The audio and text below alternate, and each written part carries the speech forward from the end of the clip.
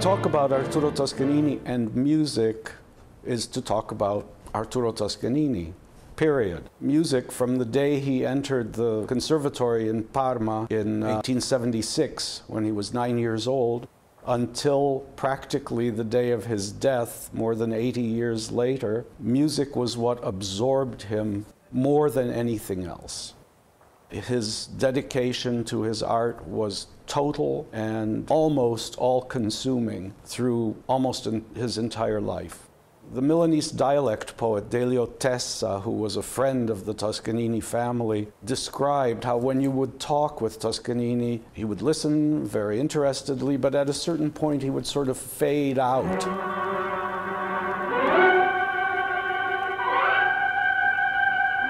And you could tell that he was thinking about what he was working on at that time, what he was studying, what piece of music he was dealing with, either in rehearsals or simply mentally. And then he would fade back in again after a while, and people were accustomed to this. He was so dedicated to music that everything else in his life became secondary in comparison.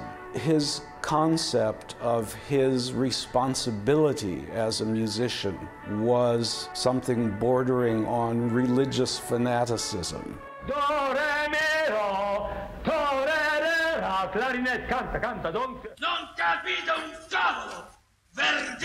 He believed that it was the responsibility of a performing musician to come as close as possible to expressing the thought the concept of the composer whose work he was performing at that time. It was really an all consuming passion for him. And in fact, his reputation as being very tough on orchestras, on being very demanding with singers when he worked with them, and so on, was an extension of his own very intense dedication to music.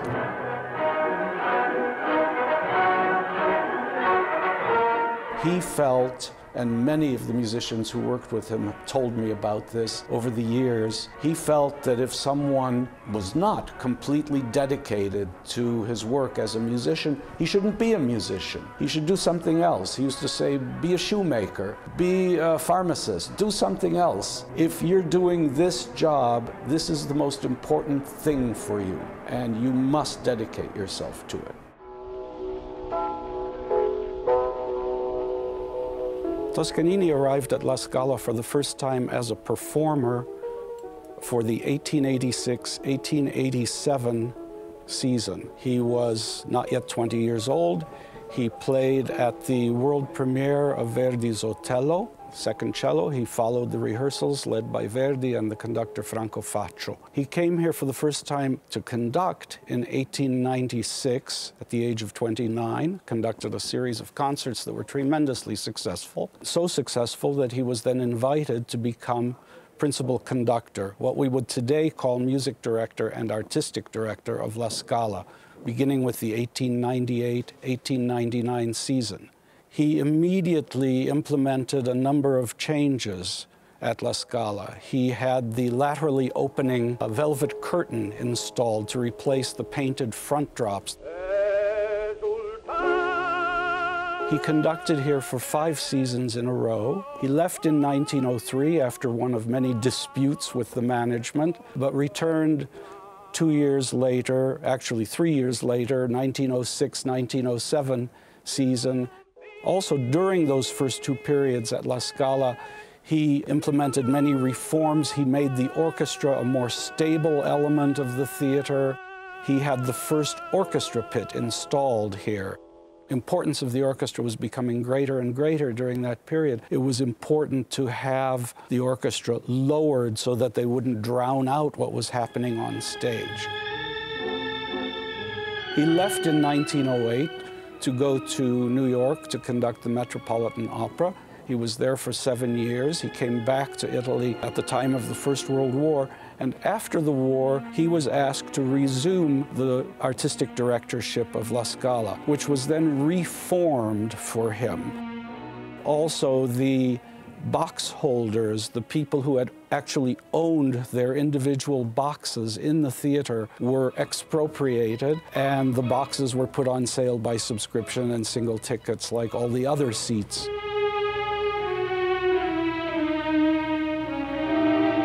He conducted eight very, very important seasons here that many regard as the golden age of La Scala. He conducted the world premiere of Puccini's Turandot in 1926, Puccini's last opera, which the composer died before having finished the last scene. And many other works by Italian composers, many of them have since fallen out of the repertoire, but were important in their time.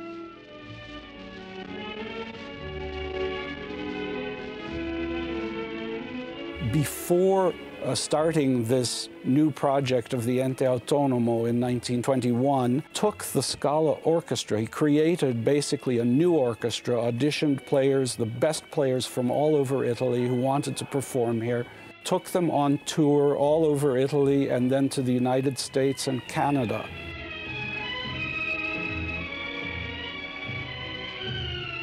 After having been attacked by fascist hooligans in 1931, he refused to perform again in Italy.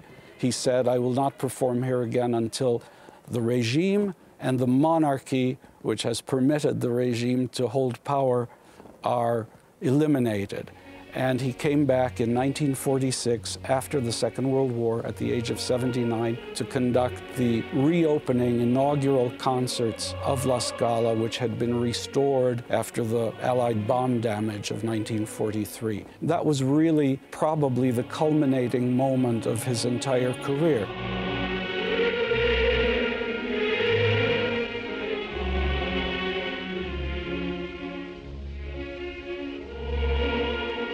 After that, I mean, his work was basically centered in the United States. He was conducting then the NBC Symphony Orchestra, a radio orchestra that had been formed for him in 1937. But he continued to come back to Italy and to conduct occasional concerts at La Scala from time to time.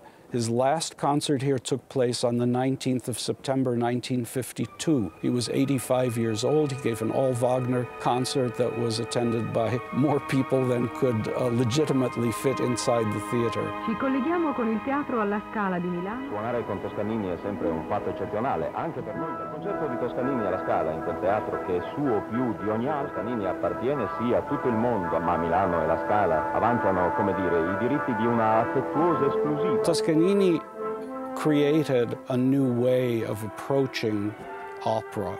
It was a way that Wagner and Verdi and composers of the 19th century had wanted to create, but nobody had really succeeded completely in doing it. He imposed his will on the performers. Here at La Scala, of course, the musicians, as Enrico Minetti, who was the concertmaster of the Scala Orchestra, said, we feared him, we admired him, and we loved him because they understood that this harshness that he applied to rehearsals was in part practical, a time saver, but in part his striving to achieve the maximum in every performance.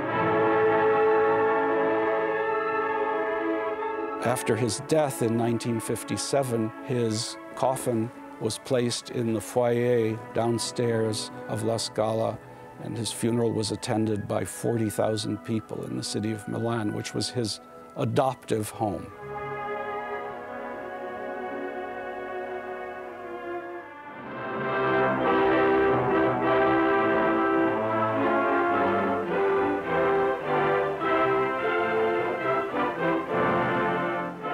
Toscanini was already famous when he became conductor of La Scala in 1898, famous within Italy, and within a few years his fame had spread all over Europe and even to America.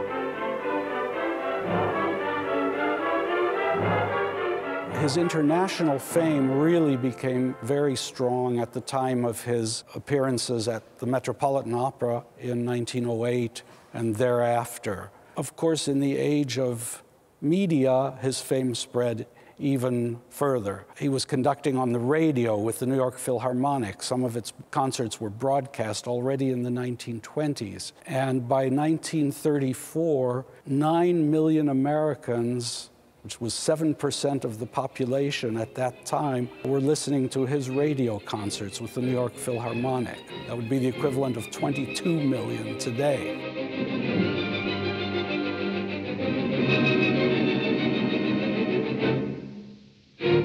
By 1930, when he conducted, he was the first non German school conductor to work at the Bayreuth Festival, the Wagner Festival in Germany, and then conducting elsewhere across Europe as guest conductor and not only within Italy and the United States.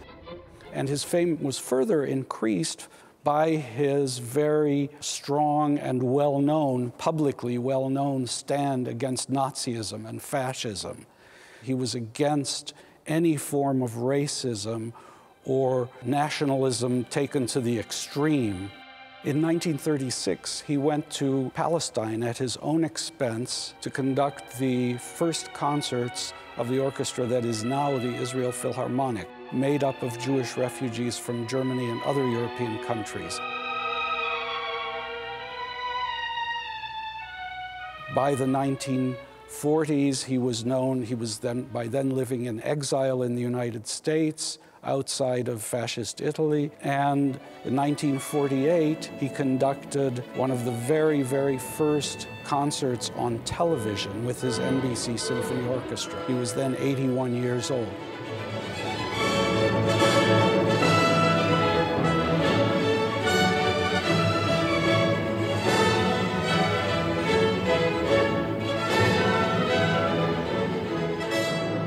Do it for the fame. He did it because he wanted music to reach as many people as possible all over the world. He felt that that was his mission in life. And by the time of his retirement in 1954, they say that 70% of the entire population of the United States knew the name Toscanini and that he was a conductor, even if they knew nothing about music. I'm sure that that percentage was even higher in Italy at the time.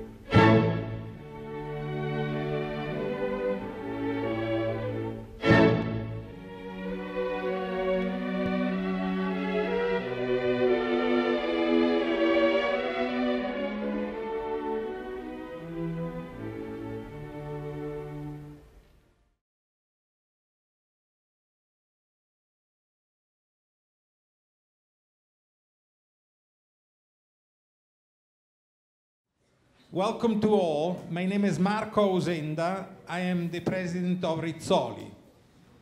And it's with great pride that I'm here to introduce this event in celebration of the 150th anniversary of the birth of Arturo Toscanini and the 60th anniversary of his death. We are celebrating the book that we produced and the great maestro. I do all this with great gratitude to Lane Construction, part of the Salini Group Impregilo, uh, Italian, I would say, world gigantic make contractor who's investing a lot in the United States.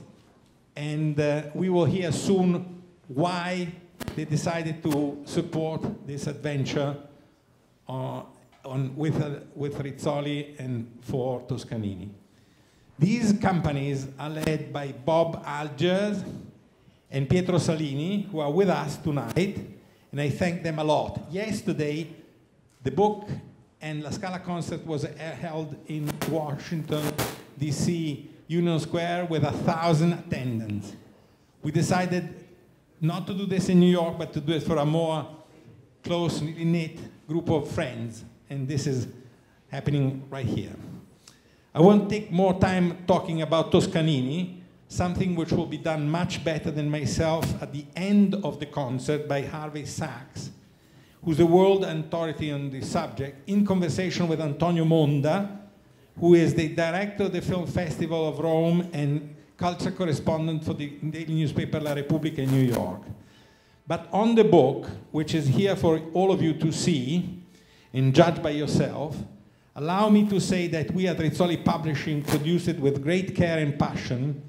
Our aim was to make it sure that Toscanini himself would have liked it, knowing that he was a perfectionist and his standards were very high. I hope you will appreciate and buy it as a keepsake of this wonderful moment and of a man who made the history of classical music over two centuries. And allow me also to be a little bit commercial, saying that whomever buys the book tonight will get, thanks to, once again, Lane Constructions, uh, a copy of a DVD containing music and videos on Toscanini. So, uh, an occasion. The evening was, after me, we'll have a few words from uh, Pietro Salini, and then uh, uh, the concert itself, which will last one hour at the end of which we'll have a conversation, as I said, between Harvey Sachs and Antonio Monda on Toscanini. Thank you very much.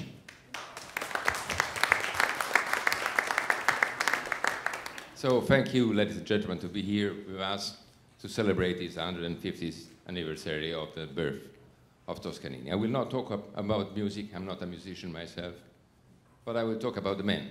I would say why a company like us has decided to invest and spend their time on talking about a man like Toscanini. When they brought to me the project of making a book on Toscanini, I said, okay, but why us? We are contractors, we do dams, we have done just the Panama Canal, we, do, we speak with other things. And so they start talking to me about this man, this genius, that was not only a musician, but was also an innovator, somebody who was able to change completely how the music was listened to in a theater. It, it changed the way the orchestra were, was put in a place the ladies couldn't wear anymore a hat while, while uh, listening to a concert. And it was using new technology. For that time, there were very big innovation. Radio, something that we give for granted now, at that time was not so, so easy to understand. 10 million people were listening his music. He was a very famous man in any, any household into the middle of nowhere here in the United States. That man's name was very famous. So the idea was, okay, but then what? And I discovered that man was also a very brave man. He was, he was hating dictatorship. He was hating dictator in, a, in an area in which was important to live with the people who were at the helm of the power. So when he discovered Mussolini was there, he had the courage to go away, to come here in this country, because he was a lover of freedom, like we are. And when at that time Jewish people were not fashionable, he had the courage to put an orchestra in Palestine to start a new era for a people that were there deserving that. So for that courage and for the value that these great men are teaching to us, and for the fact that without great values and great example, we would be nothing than beast, I decided to invest my time and the time of the company on this book. Thank you very much.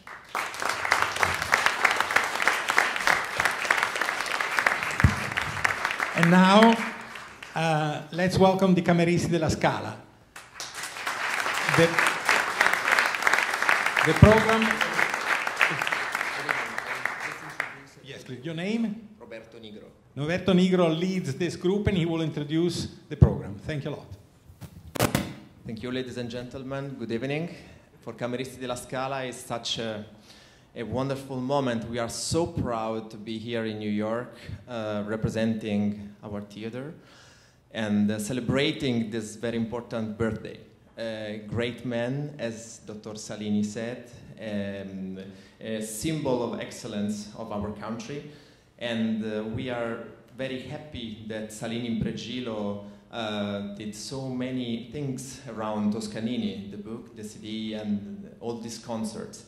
Uh, we will start tonight with the composer that Toscanini liked very much, uh, Gioacchino Rossini.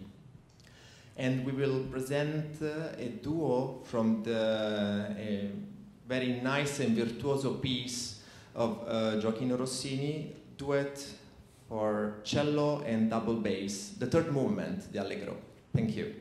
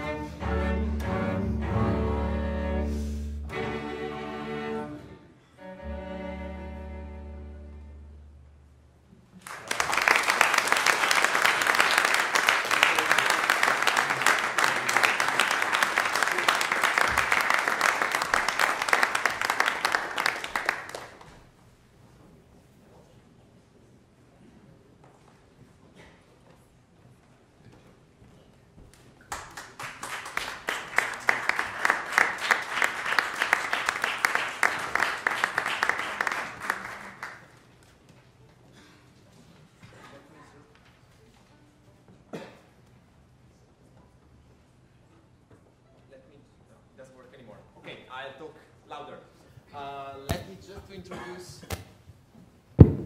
Okay, now it's working. Okay, it was not my fault. Um, Marco Radaelli at cello and Roberto Parretti double bass.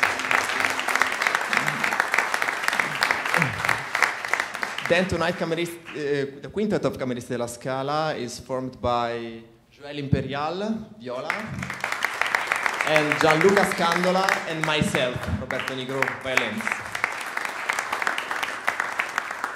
The following composition is from Traviata. We will start with a preludio from the first act, the very beginning of the opera, and we'll follow with an aria, the last one from the opera, uh, Addio del Passato. And of course, there is a big surprise for you tonight because there is our singer, uh, Mihaela Marcu, that yesterday did a great concert in Washington, D.C., that tonight hopefully join us. And we will sing, uh, she will sing the air from the last act, Addio del Passato.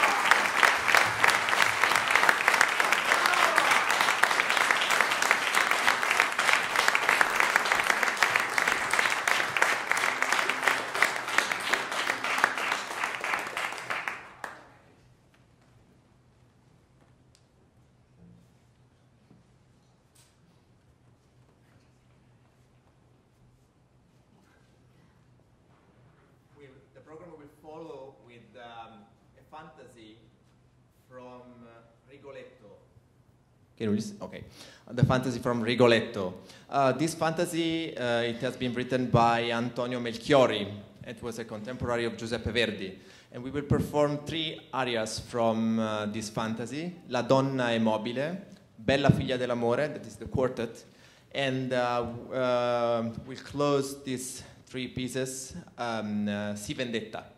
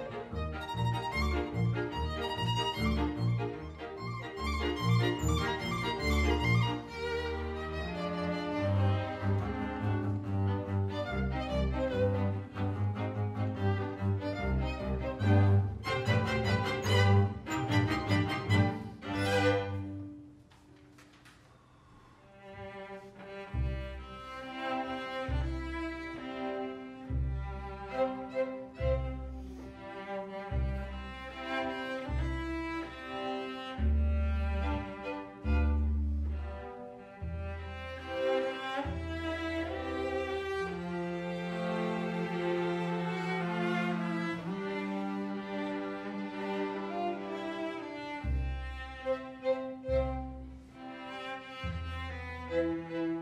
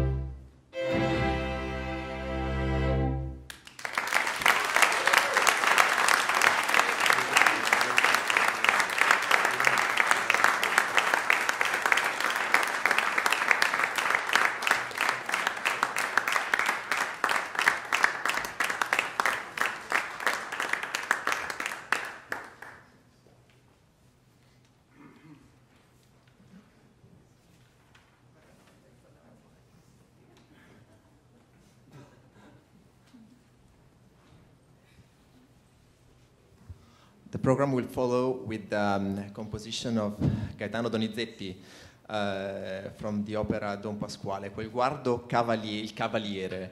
Uh, tells you the story of Norina, uh, is the, prota- uh, the protagonist of the opera, and she's reading a novel, uh, a novel about a cavalier and lady, etc. And uh, after her reading, she thinks about herself that she's um, able to make a man fall in love for her. She know all the tricks to make a man fall in love for her.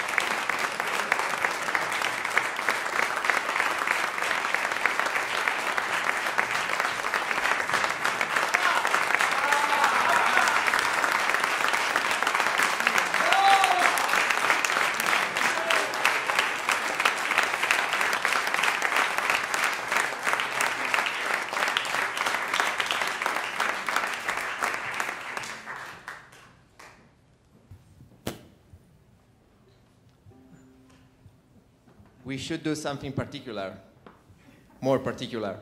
Uh, we should say happy birthday to Dr. Salini tonight. So we have a special surprise for him.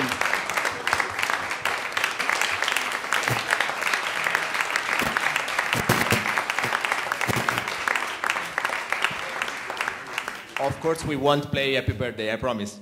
Um, we will call again Mihaela Marcu. She did a wonderful, aria now. Uh, we will perform Brindisi from Traviata.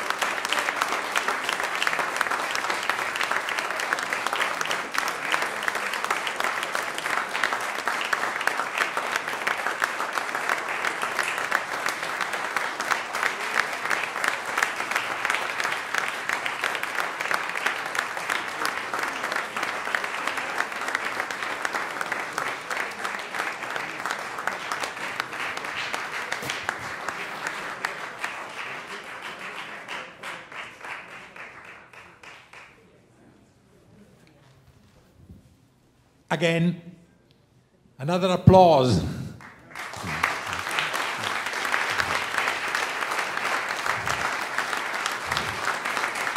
I think, I think they well deserve it.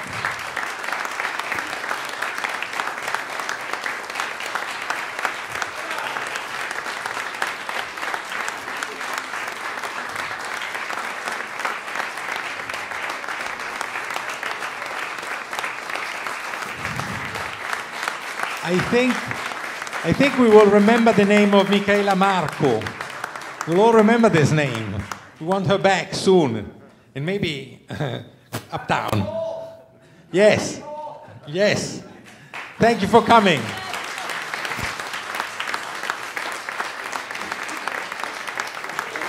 I hope Rizzoli Bookstore will bring her uh, luck and also thanks to the Cameristi della Scala. To me is is quite something. I am delighted. Couldn't be better. Thank you to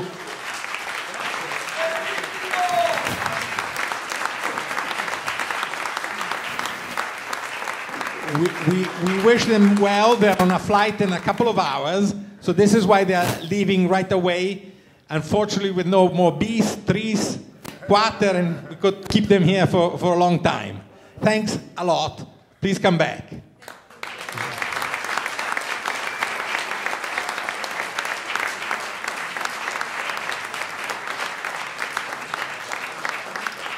And good luck with the traffic in New York. Thank you. So this is, this is what Lane Construction and Salini Impregilo did for us. Quite something. I'm really, really delighted. I also want to say thank you to the Italian General Consul in New York, Francesco Genuardi, who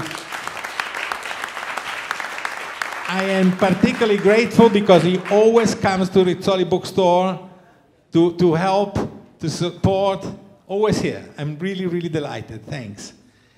And now over to Antonio, Antonio Monda, and Harvey Sachs. Please. Harvey Sachs is the absolute world uh, authority on Toscanini. He has a beautiful book coming out, or already out, in June. In June. Not by Rizzoli, unfortunately, but please watch out because, because it will be worth buying and reading. Together with our book, with the free CD tonight. Antonio is a journalist. He is the Italian correspondent for Repub Repubblica, cultural correspondent for Repubblica from New York, and director of the Rome Film Festival. So I leave the microphone to Antonio, who will talk to Harvey about Toscanini and let us know more of, of the meaning of this fantastic man and uh, what he brought into the history of opera and classical music. Thank you. Grazie, buonasera a tutti. Thank you, everybody. I would like to ask Harvey Sachs, who is the world expert on Toscanini, why Toscanini was unique. We have several great conductors, Karajan, Furtwängler, Bruno Walter, Leonard Bernstein. But Toscanini has something different and quite unique. Why do you think it's so unique? Actually, Bruno Walter himself, who was a great conductor, said of Toscanini, Er ist ein Heiliger, he is a saint. Now, Toscanini was not a saint in his personal life, but nobody is. But he was a little bit less than many others. but uh, Toscanini was, in his approach to music, in his way of, of thinking about art, he was, in a way, a saint. And uh, Edwin Bachmann, who was the principal second violin of the NBC Symphony for all 17 years of its existence, told me he was the only conductor who made you play better than you thought you were able to play because he had this inspirational effect on his musicians. So uh, that was one of the ways in which he was unique. He was also uh, unique because he wasn't just a conductor, he was a great reformer in the opera house and in the uh, symphony hall. He was the person who. Is it true who invented, literally invented the orchestra pit? No, he did not invent No, the what- what- orchestra pit. what is his The orchestra pit was invented actually But by the, he's- op- the operisti in the, in the uh, Renaissance. But is it true that he installed in the La Scala? He had the first orchestra pit installed at first at the Teatro Regio in uh, Torino, in Turin, and then at La Scala in 1907. You know, Wagner, of course, had the, the Golfo Mistico, the, the, the uh, pit installed at Bayreuth uh, for his festival in 1876. And that was uh, a spur to many of the theaters to do the same. Because, you know, when doing uh, 18th, early 19th century music, Mozart, Rossini, the orchestra playing at the ground floor level didn't drown out the singers because it was a small orchestra. In the latter part of the 19th century, when you had heavier orchestration, the later works of Verdi, Wagner's works, and then, of course, in the early 20th century with Richard Strauss and so on, the orchestra playing at ground floor level had to play one quarter the dynamic level indicated in the composer's score. So, by having the orchestra pit installed, the orchestra could be raised and lowered depending on uh, what kind of what of what kind of repertoire was being done. But he had that done. He had uh, laterally opening curtain installed at La Scala instead of the old painted uh, front drop that used to cut off the singers' heads and then their knees and so on when it would go down at the end of a scene. Um, all this sort of thing, the administration of the theater, the way the theater was financed, all of these things, he was a great organizer and not just a great musician. So th- these were among the things that made him very special. And of course, his successors, the conductors who came after him, benefited from these reforms that he had undertaken.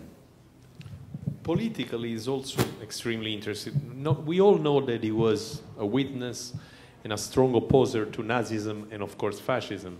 But in his early age, he believed in Mussolini. Is it true? Toscanini was already, uh, let's see, in 1919, at the end of the First World War, Toscanini was already 52 years old. So Mussolini's uh, initial party, after he was thrown out of the Socialist Party for his uh, uh, being against the pacifism of the Socialist Party, uh, Mussolini advocated a policy of that was to the left of the Socialist Party at that time. They believed in the abolition of the monarchy, the abolition of banks and stock market, universal suffrage for men and women, et cetera, et cetera, et cetera. It was a very far left policy, and that was the party that Toscanini adhered to in 1919. By 1922, at the time of the March on Rome, Toscanini was out completely, and he told Eugenio Balzan of the Corriere della Sera, if I were capable of murdering a person, I would murder Mussolini. So, and that was very early on in the fascist uh, takeover of the government. So he was, you know, he was the son of a Garibaldino. He was anti-church, anti-monarchy right from his earliest youth. Uh, one of the reasons why he left Italy and he came to New York twice, once in 1908, do I remember? Times, several times. The first time for eight years, yeah. Uh, was, uh, and the second time, of course, after the March of Rome. And one of the reasons was because he was attacked and even slapped, from what I understand, from a fascist, because he refused to play Giovinezza in front of uh, in Mussolini. And my question is, of course, he opposed totally Mussolini, was against the fascism, but he also, I think he considered that very lousy music. Um, it's interesting. As far as his relation to the United States is concerned, he came here, yes, first in 1908. He conducted, uh, until 1915, he did seven seasons with the Metropolitan Opera. And then he came back in 1920 21. He brought the Orchestra of La Scala on a tour uh, of the United States and Canada. Then he returned in 1926 as guest conductor and later as uh, regular conductor, music director of the New York Philharmonic. At first, at the same time that he was conducting at La Scala, that he was music director of La Scala. So um, in uh, 1929, he left the music direction of La Scala. It was partly because of his opposition to the regime. But he came in 1931, he was going to do a, a special concert with no fee in Bologna at the Teatro Comunale, and he, um, he actually uh, was told, because two fascist ministers were going to attend the performance, that he had to conduct the Marcia Reale, the Royal March, and Giovinezza, the fascist party hymn. It was a law when ministers of state attended. He refused. There was talk of a compromise. A band was going to play the hymns before the performance, but when he arrived at the theater, he was attacked by a group of young fascists who slapped him and knocked him down. He was 64 years old already at that time. And at that point, he decided, no, I can't work here anymore. But he didn't actually leave Italy. He came and went. His telephone was tapped, mail was opened, he was followed by informers and so on. But he didn't actually leave until 1938. Why he loved so much New York? Well, New York offered him, he loved the energy of New York and hated the noise level. He always said that. But he, he loved uh, the forces that were put at his disposal. I mean, the, in 1908, the dollar was all powerful, you know, so he was paid roughly 10 times what La Scala paid him when he came here. He was paid the equivalent in today's terms of a million dollars a year, and there were no income taxes then.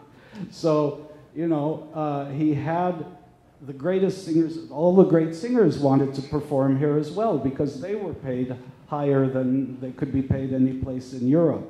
And so uh, he had Caruso, Geraldine Farrar, you know, you name it, the great singers of the day were to work with, a first-rate orchestra, and people were willing to do anything to keep him here.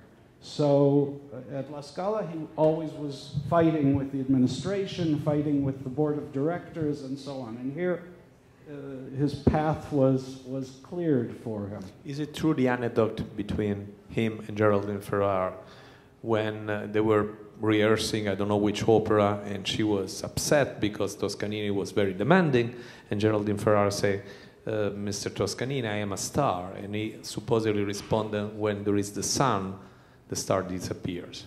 Is it true? It's not quite true. I'm sorry to say. But it's What's good. True, Let's print yeah. it. Se non, è, se non è vero è ben trovato, right.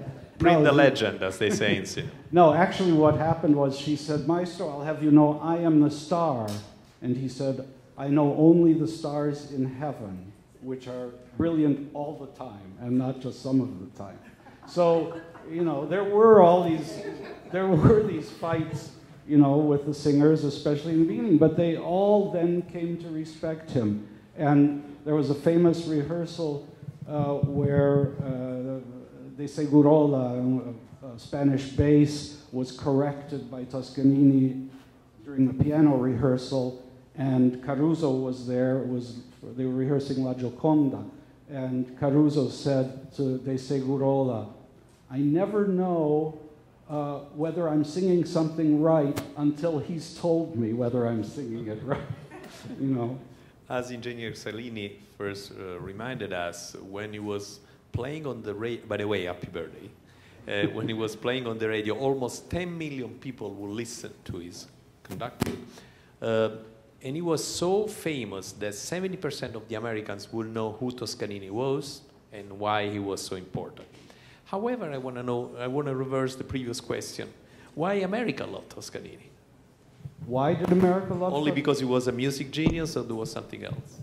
There was the, you know, the, first of all, uh, the impression of these extraordinary talents that he had, the photographic memory, the uh, extreme, extremely exigent personality, demanding, insisting always on the highest quality for, with everything that he performed.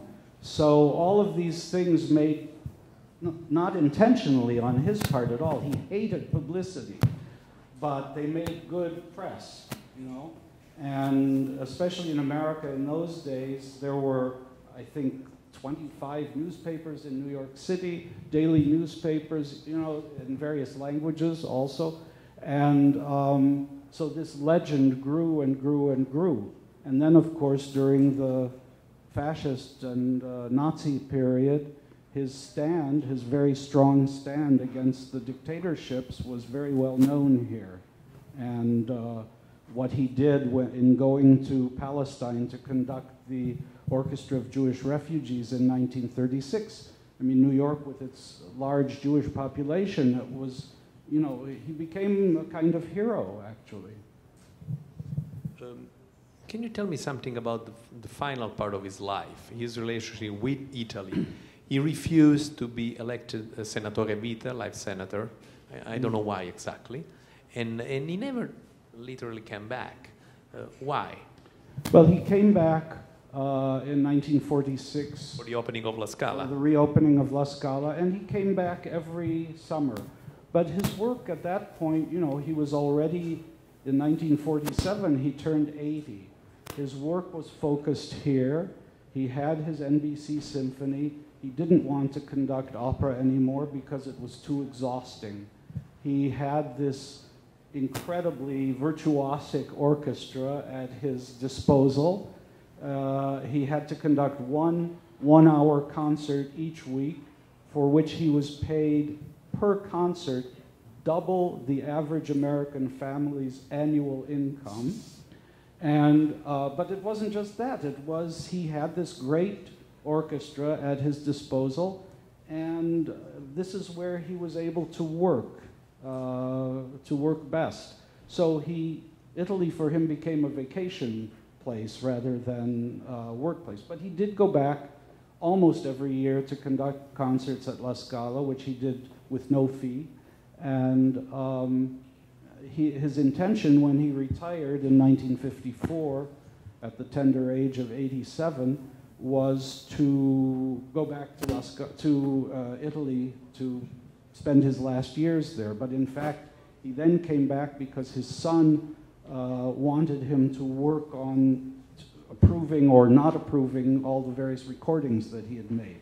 So he came back to New York in 1955 and he died here at his home in Riverdale uh, in 1957. Among his great achievements, uh, there is also the fact that he was the first non German conductor to conduct in Bayreuth, Wagner, of course.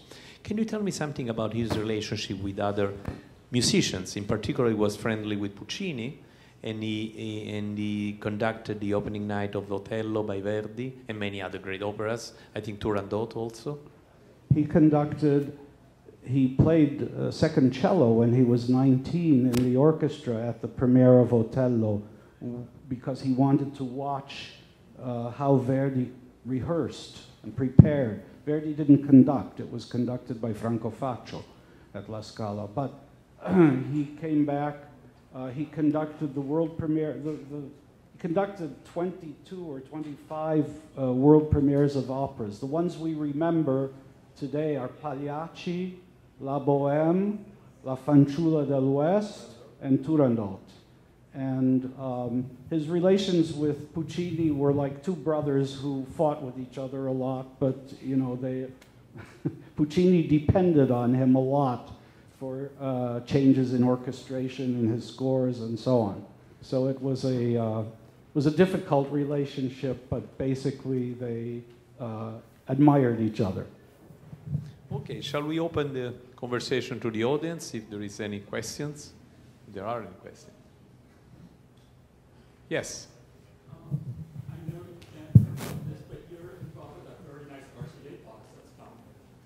Oh, yeah, there's a new collection of uh, 20 CDs that Sony, which now owns the old uh, RCA Classics, Red Seal Classics, has published of uh, what Christopher Dyment and I selected as some of his best authorized recordings. That's become available in recent months. So it has some of the operas and some of the uh, symphonic music.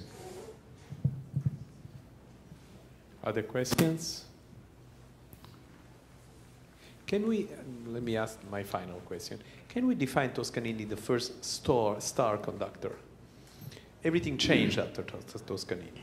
Well, there were star conductors before Toscanini. There was Hans von Bülow and Arthur Nikisch and so on, but they were before the era of radio and recordings. And so Toscanini was the first conductor who really made uh, wide use of what we now refer to as the media. He was also one of the very first conductors to appear on television, even when, when he was in, already in his 80s. So, uh, all of that, plus all the media coverage of his anti fascism and, and so on and so forth, made him, I suppose you could say, the first star conductor uh, against his will. he hated being photographed, and there, there's, there's a photograph of him leaving Carnegie Hall with his jacket up like this so that photographers wouldn't take pictures of him.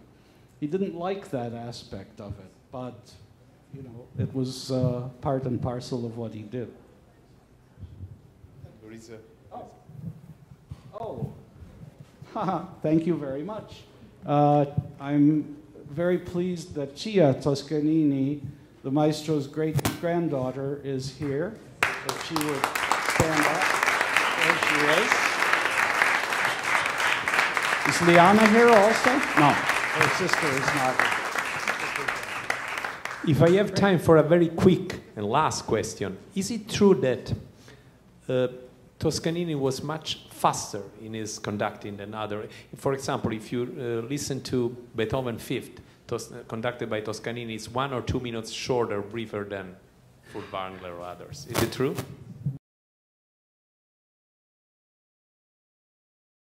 No, I mean, Toscanini's interpretations changed radically over the years. So um, we don't know. I mean, he made his very first recordings after he had been conducting for 34 years already. Half of his career was gone. So we don't know uh, what his performances were like in early years. There are some reviews that complain that he did things too slowly. Um, some of the recordings that he made in later years, Beethoven symphonies, for instance, at the time were considered to have faster tempi than usual. But now, in retrospect, when we hear the uh, authentic instrument performances, um, they seem absolutely modern. Riccardo Muti always says Toscanini is always modern. When you listen to his there's a, uh, an off the air recording of Magic Flute from Salzburg in 1937 that was, it was really criticized very heavily at the time. And now it sounds completely modern to our ears. So, you know, he was in some ways ahead of his time. Thank you. Thank you, Harvey Sachs. Thank you, everybody. And enjoy this extraordinary book.